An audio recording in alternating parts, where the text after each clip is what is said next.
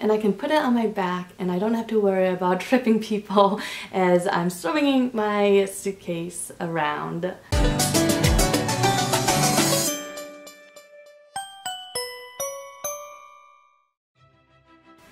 Hi guys, it's Shannon. Welcome to another video of mine. This one is going to be what's in my carry-on bag. And I don't know about you, but I want to be as comfortable as I possibly can when I'm sitting in an airplane for more than five hours. So hopefully this video will give you some good ideas and maybe make your flight a little bit more enjoyable. So First off, what I like to do is use this backpack as my carry-on. And you can't really travel anywhere unless you have a passport. And what I like to do is to make sure that I know where it is at all times. And in order to do that, I like to carry a wallet kind of like this so I also like to bring an extra change of clothes in case something happened to my check-in luggage and maybe it got lost in the transit and I have to live out of my carry-on bag for a few days while they try to find it.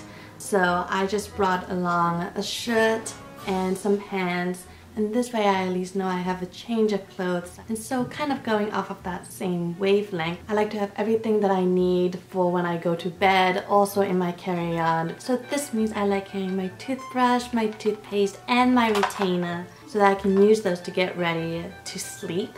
And since you're on the plane and not everyone sleeps at the same time I just like to carry an eye mask so that I can put this over my eyes so it makes it a lot easier for me to fall asleep. So for me, I like to keep my makeup kind of simple for when I'm getting off of the plane. So I just like to carry a simple foundation, powder, blush, the usual simple common routine. I do like carrying mascara and concealer because I feel like these two makeup products help to brighten up my face, especially when I've had a long trip. They help make me look not as tired as I probably am. I also like to carry a brush and a moisturizer just as ways to keep myself comfortable and kind of keep myself from feeling very yucky and very disgusting. And since the air gets extremely dry when you're flying and I have very very dry lips,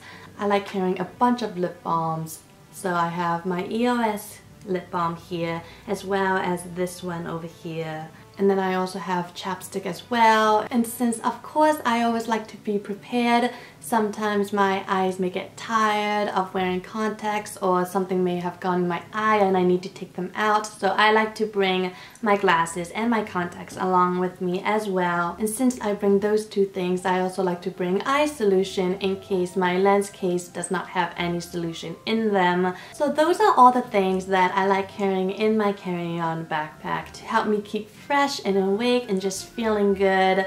But also in my carry-on backpack, I have my laptop, of course, because this is the prime opportunity to get a lot of work done with no one really disturbing you. And for that reason, I also like to carry along some notebooks to jot some notes down and as a huge huge lover of music I can't really do anything without music carrying headphones are a must because you do not want to disturb your neighbors or have the entire plane cabin listening to what you are listening to. So that's basically everything that I like to carry along in my carry-on backpack. Other things that I like carrying along with me are all my chargers. I also like bringing my camera and my tripod along with me. And that is everything I like to bring with me in my carry-on backpack when I go to travel. So hopefully you enjoyed this video. It gave you some good ideas. Please give it a thumbs up if you liked it. Leave a comment down below with some travel essentials that you like to bring when you go traveling.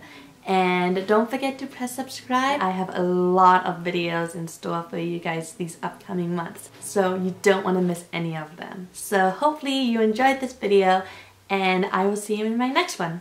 Bye.